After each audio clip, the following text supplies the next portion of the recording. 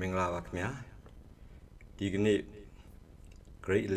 11 physics ဧကဒသမတန်သင်ရိုးသစ်ယူပါဗေဒ chapter 4 power and efficiency ခန်းကနောက်ပိတ်ဆုံးသင်ခန်းစာဖြစ်တဲ့ lesson number 7ကိုရှင်းပြပါမယ်ဒီ lesson number 7မှာ sources of energy အပိုင်းတွေကအဲကြံရှိနေတာဖြစ်တဲ့ non renewable energy sources ပြီးလို့ရှိရင်သူနဲ့သက်ဆိုင်တဲ့ review exercise များကိုရှင်းပြပေးသွားမှာဖြစ်ပါတယ်အခုဒါကြောင့်မို့လို့ဒီ non renewable energy sources လို့ပြောတဲ့နော်ပြန်လေပြည့်ဖြိုးမြဲမဟုတ်တဲ့စွမ်းအင်ပင်ရင်းများအကြောင်းကိုရှင်းပြပါမယ်အဲ non renewable energy comes from sources that will not run out or well uh, that will run out or will not be replenished for thousands or even millions of years အဲ့တော့သူဘာလို့ဆိုလို့လဲဆိုလို့ရှိရင်ဒီ non renewable energy တွေဟာနော်အပြန်လဲပြဖြိုးမဲမဟုတ်တဲ့စွမ်းအင်ဒီအကုန်ဆုံးသွားနိုင်နော်သူက that will run out နော်အကုန်ဆုံးသွားနိုင်တယ်ဒါမှမဟုတ်လို့ရှိရင်လေနော်သို့မဟုတ်နှစ်ထောင်ပေါင်းများစွာသို့မဟုတ်တန်နှစ်တန်ပေါင်းများစွာကြာသည့်တိုင်ပြန်လဲဖြည့်တင်းနိုင်ခြင်းမရှိတော့ပင်ရင်းများမှရရှိသည်လို့ပြောတာဖြစ်ပါတယ်အဲ့တော့သူတို့ကအခုဒီမှာဖော်ပြတဲ့အတိုင်းနော်အဲ့ run out လုပ်နိုင်တယ်ကုံဆုံးသွားနိုင်တယ်ဒိုရီမို့သူ့ကိုပြန်ပြီးဖို့ကနှစ်ထောင်ပေါင်းများစွာတန်ပေါင်းများစွာကြာတဲ့တိုင်အောင်ငကိုအတိုင်းပြန်မဖြစ်တဲ့အတွက်ကြောင့်သူတို့ကို non renewable energy sources လို့ခေါ်ဆိုတာဖြစ်ပါတယ်အဲ့တော့သူတို့ဒီ non renewable energy sources တွေမှာသူကအဓိကအဖြစ်သူပါတာကတော့အခုဒီပုံမှာဖော်ပြတဲ့အတိုင်းပေါ့နော် fossil fuels လို့ခေါ်တဲ့နော်အဲဒီအပိုင်းရဲ့ပြီးရင်ကြောင်မီသွေး coal ပြီးလို့ရှိရင် nuclear energy ပြီးလို့ရှိရင်တော့ natural gas ဒါတွေဟာအဲ့တော့သူတို့ကကုံဆုံးသွားနိုင်ပါတယ်အဲ့တော့ fossil fuel လို့ပြောတဲ့ဒီထဲမှာပါတဲ့ဒီ petroleum ပေါ့နော်ရေနံတွေရေနံတွေဟာလည်းပဲဒါကကဘာမှာရှိတဲ့ရေနံတိုက်များဒါတွေဖြစ်လာဖို့ဆိုတာနှစ်ထောင်ပေါင်းတန်းပေါင်းချီပြီးတော့ကြာတာဖြစ်ပါအဲ့တော့တကယ်လို့သာသူတို့ထုတ်ယူသုံးဆွဲလို့ကုန်သွားရင်ဒါတွေပြန်ဖြစ်ဖို့ကနောက်ထပ်နော်နှစ်သန်းချီပြီးတော့ ကြာအောင်မှာဖြစ်ပါတယ်ဒါကြောင့်သူက non renewable energy မှာပါပါတယ်အဲ့တော့ထိုနည်းတူပါပဲအဲ့တော့ဒီမီကြောင်မီသွေးတွေပေါ့နော်မီသွေးကြောင်မီသွေးသူကလည်းပဲအဲ့တော့သူတွေကိုဖြစ်ပေါ်လာဖို့ဆိုတာကဒီကဘာမီလွှာထဲမှာဒီ pressure နဲ့ခုနပြောတဲ့နော်ဒီဖိအားကြောင့်နော်ဒီတစ်ပင်တွေပါသူတို့ပြိုလဲပြီးတော့မှဒီမြေရွာတဲ့ဖုံဖုံးချင်းခံရပြီးတော့သူတို့ကနှစ်တန်းချီပြီးကြားတဲ့အချိန်မှာဒီကောင်တွေကအကြောင်းမီးသွေးပြန်ဖြစ်သွားမှာဖြစ်ပါတယ်အဲ ထိုနည်း၎င်းမှာပဲ nuclear energy မှာသုံးတဲ့ဒီ nuclear energy မှာ fuels နဲ့သုံးတဲ့ဒီ uranium စသဖြင့်เนาะဒီ radio active elements တွေခါလည်းပဲဒါပြန်လဲပြီးတော့မဖြစ်နိုင်မနဲ့ကုံဆုံးသွားမှာဖြစ်ပါတယ်အဲ့တော့ဒါကြောင့်မို့ဒီကောင်တွေဟာအဲ့တော့သူတို့ကိုဒါ non renewable energy သူတို့ဟာ can not be replenished for thousands or even millions of years နှစ်ထောင်ပေါင်းများစွာသို့မဟုတ်သန်းပေါင်းများစွာကြာသည့်တိုင်အောင်ငကိုအတိုင်း ပြန်လည်ဖြစ်တည်နိုင်ခြင်းမရှိတဲ့ပင်ရင်းတွေဖြစ်ပါတယ်အဲ့တော့ဒါကြောင့်မို့လို့ they are finite amount in existence four main types of non-renewable energy sources are while natural gas coal and nuclear energy အဲ့တော့ဒီအခုပြောတဲ့ပြန်လည်ပြည့်ဖြိုးမဲမဟုတ်တဲ့ non-renewable energy ဒီဟာ sources တွေကသူတို့ကအဲအကန့်အသတ်နဲ့သာရှိပါတယ်သူ့ရဲ့ပမာဏအကန့်အသတ်ချက်ရှိတယ်ဒါကြောင့်မို့၎င်းတို့ဤပမာဏအသည်ကန့်အသတ်ချက်ရှိသည် ပြန်လည်ပြဖြိုးမဲ့မဖြစ်သောစွမ်းအင်အဓိကအမျိုးအစား၄ခုမှာ1ရေနံ2သဘာဝဓာတ်ငွေ3ကြောင်မီးသွေးနဲ့4နျူကလ িয়ার စွမ်းအင်တို့ဖြစ်သည်ဒါသင်ရိုးစာအုပ်ကနော်ဒီ non renewable energy နဲ့ပတ်သက်ပြီးတော့ဒါဖော်ပြထားတဲ့ knowledge တွေဖြစ်ပါတယ်အဲ့တော့ဒါတွေပြီးရင်တော့ဒီထဲမှာမှာနော်အဲ့တော့ process fuel လို့ပြောတဲ့နော်ဒီရုပ်ကျွင်းလောင်စာတွေအကြောင်းကိုရှင်းပြပါမယ်အဲ့တော့ fossil fuel ဆိုတာဒါရုပ်ကျွင်းလောင်စာတွေပါအဲ့တော့ သူတို့ဘာတွေလဲဆိုဟိုကနော်ဒါရေနံပေါ့နော် natural gas ဒါသဘာဝဓာတ်ငွေ and coal are collectively called fossil fuel ဒါကြောင့်မို့လို့နော်အဲ့တော့ဒီမှာအဲ့တော့ရေနံရဲ့သဘာဝဓာတ်ငွေရဲ့နောက်တစ်ခါကြောင်မီးသွေးတွေဒါတွေကိုပေါင်းစုပြီးတော့သူတို့ကိုရုပ်ကျွင်းလောင်စာလို့ခေါ်တာဖြစ်ပါတယ်အဲ့တော့ဘာလို့လဲဆိုရင်သူတို့ကဒါရုပ်ကျွင်းတွေကနေပြီးတော့နော် fossil လို့ပြောတယ်ရုပ်ကျွင်းတွေကနေပြီးတော့ဖြစ်ပေါ်လာတယ်နော်လောင်စာတွေနော် သူတို့က fuels တွေဖြစ်လို့နော်သူတို့ကိုရေနံသဘာဝဓာတ်ငွေ့နဲ့ကြောင်မီးသူတို့ကိုစုပေါင်း၍ရုပ်ကျွင်းလောင်စာဟူသည်ခေါ်သည်လို့ပြောတာဖြစ်ပါတယ်အဲ့တော့ fossil fuels were formed within the earth from dead plants and animal over millions of years ဒီ fossil fuels တွေလို့ပြောတဲ့ရေနံတို့သဘာဝဓာတ်ငွေ့တို့ကြောင်မီးတွေတို့နော်သူတို့ဟာ formed within the earth ကဘာကြီးအတွင်းမှာဖြစ်လာတာဖြစ်ပါတယ်နော်ဘယ်ကနေဖြစ်တာတော့အဲ့တော့ဒါကြောင့်ရုပ်ရွင်းလောင်စာများသည့်အပင်နှင့်တိရစ္ဆာန်အသေးများနော်အဲ့တော့သူတို့မြေကြီးအတွင်းမှာနှစ်သန်းပေါင်းများစွာနစ်မြုပ်ခြင်းခံရပြီးတော့မှဖြစ်ပေါ်လာကြတာဖြစ်ပါတယ်အဲ့တော့အဲ့ဒါပြီးလို့ရှိရင်အဲ့တော့ဒီမှာ non renewable energy can be used for ဆိုပြီးတော့ non renewable energy ကိုဒါအသုံးပြုနိုင်တဲ့နေရာတွေပါအဲ့တော့ပထမတစ်ခုကတော့သူတို့ကို electricity လို့ခေါ်တဲ့လျှက်စစ်နော် ထုတ်လုပ်ဖို့အတွက်ဒီ fuels တွေကိုသုံးတာဖြစ်ပါတယ်အဲ့တော့ဒီ electricity မှာဘယ်နေရာမှာသုံးလဲဆိုရင်တော့သူကထင်ရှားတဲ့နေဒါတွေကတော့ဒီဒီ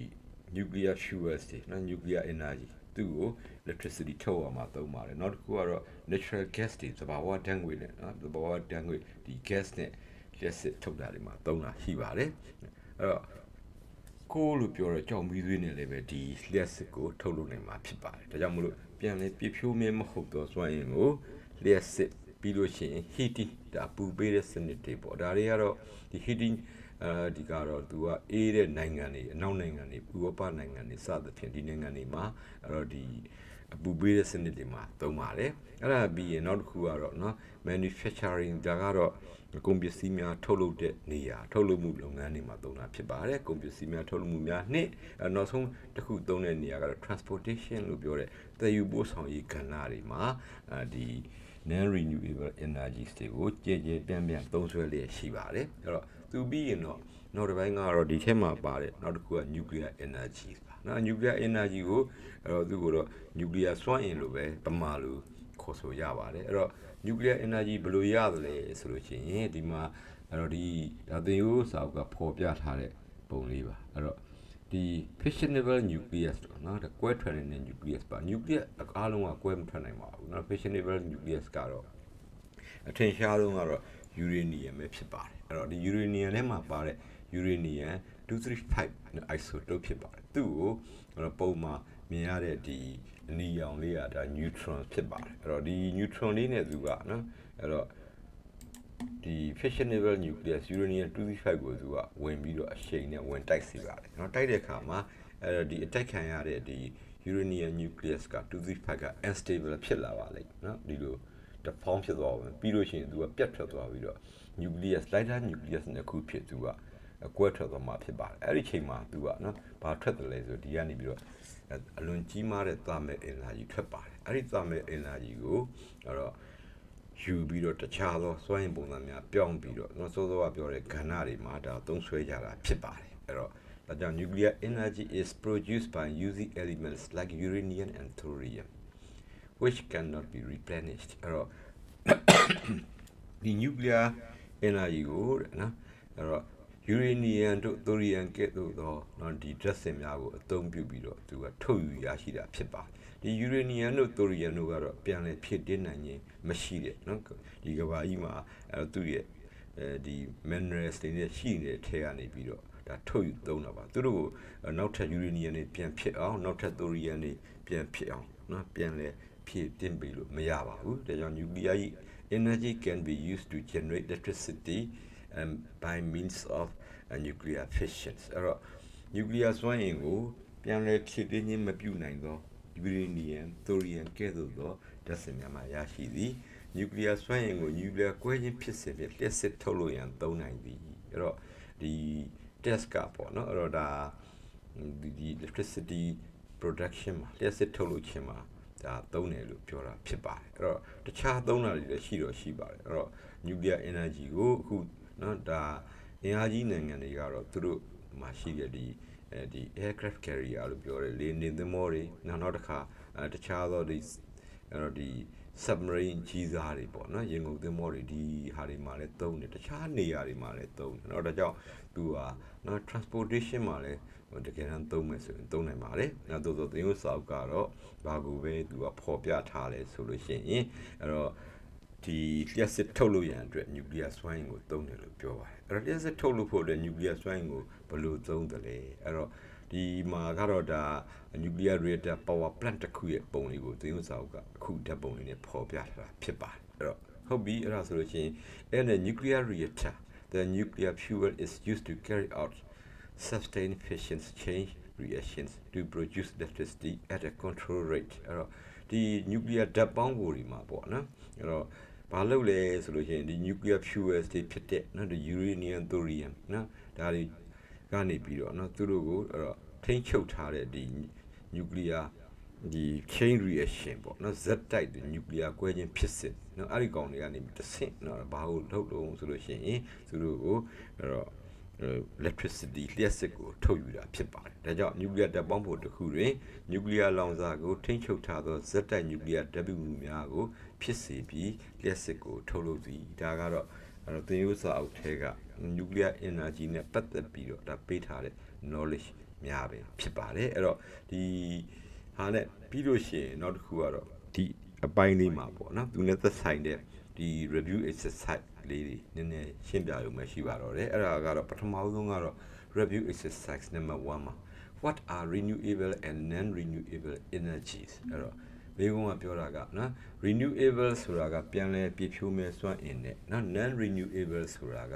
ပြန်လဲပြည့်ဖြိုးမဲ့မဟုတ်တော့စွမ်းအင်ကိုပြောတာဖြစ်ပါတယ်သူတို့ဟာဘာတွေလဲလို့မေးတာဖြစ်ပါတယ်အဲ့ဒါဟာရှေ့မှာသင်ကြားခဲ့ပြီးသားအပိုင်းပဲဖြစ်ပါတယ်အဲ့ဒီအပိုင်းတွေကနေပြီးတော့ဒါပြန်လဲဖြည့်ဆို့ထားတာပါ renewable energy sources are sustainable energy sources a renewable energy source is generated from unlimited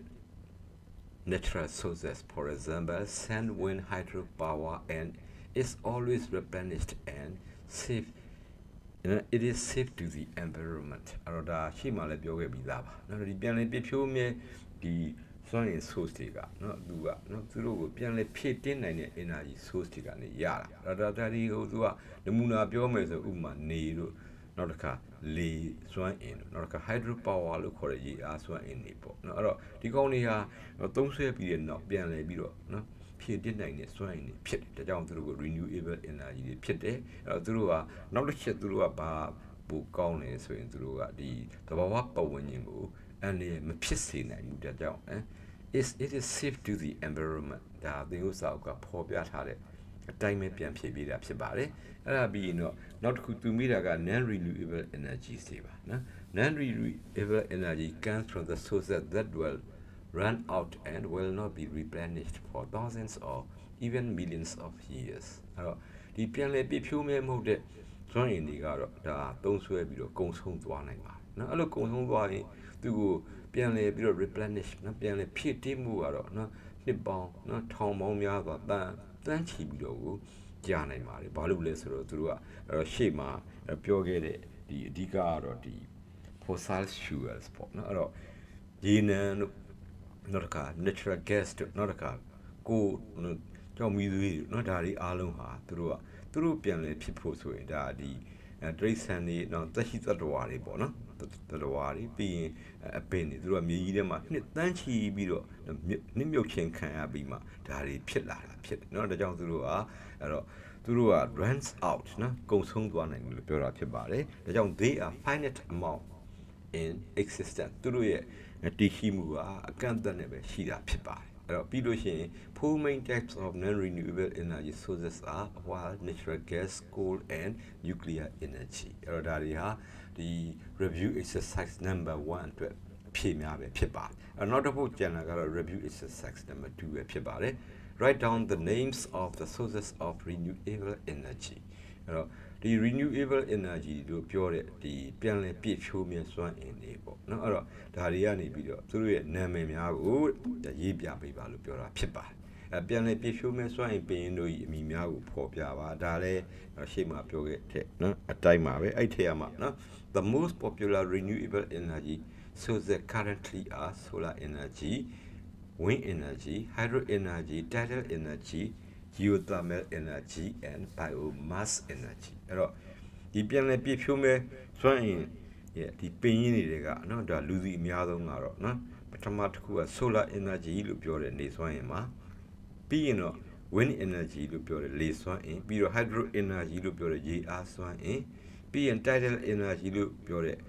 ပင်လယ်ဒီကရတဲ့ဒီဒီစွမ်းအင်ဖြစ်ပါတယ်ပြီးရင် geothermal energy လို့ပြောတဲ့ကမ္ဘာကြီးအတွင်းမှာရှိတဲ့နော်အတွင်းပိုင်းမှာရှိတဲ့မြေလွာတွေရဲ့အောက်မှာရှိတဲ့နော်ဒီအပူစွမ်းအင်ဒါကြောင့်သူ့ကိုဘူမိပူစွမ်းအင်လို့ခေါ်ပါတယ်နောက်တစ်ခုကတော့ biomass energy လို့ခေါ်တဲ့ဇီဝဓာတုစွမ်းအင်တနည်းပြောရင်တော့ ဇီဝလောင်စာစွမ်းအင်လို့ပဲဖြစ်ပါတယ်အဲ့တော့ဒါဆိုလို့ရှိရင်အဲ့တော့ဒီ chapter မှာကြံရှိနေတဲ့အပိုင်းများအားလုံးကုန်ဆုံးသွားပါပြီဒါကြောင့်သင်ခန်းစာတွေကိုဒီလောက်နဲ့ပဲရန်နာထားပါမယ်အားလုံးပဲကျမ်းမာချမ်းသာကြပါစေ။